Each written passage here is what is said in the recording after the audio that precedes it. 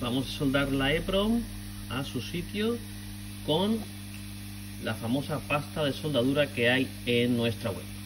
Aplicaremos la pasta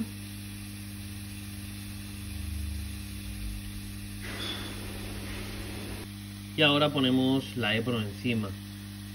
Vigilar dónde está la pata 1.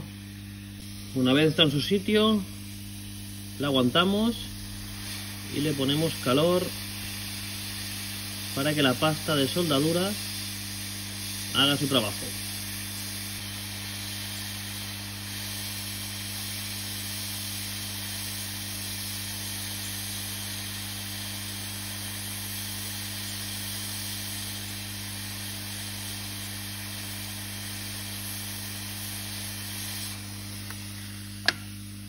Listo.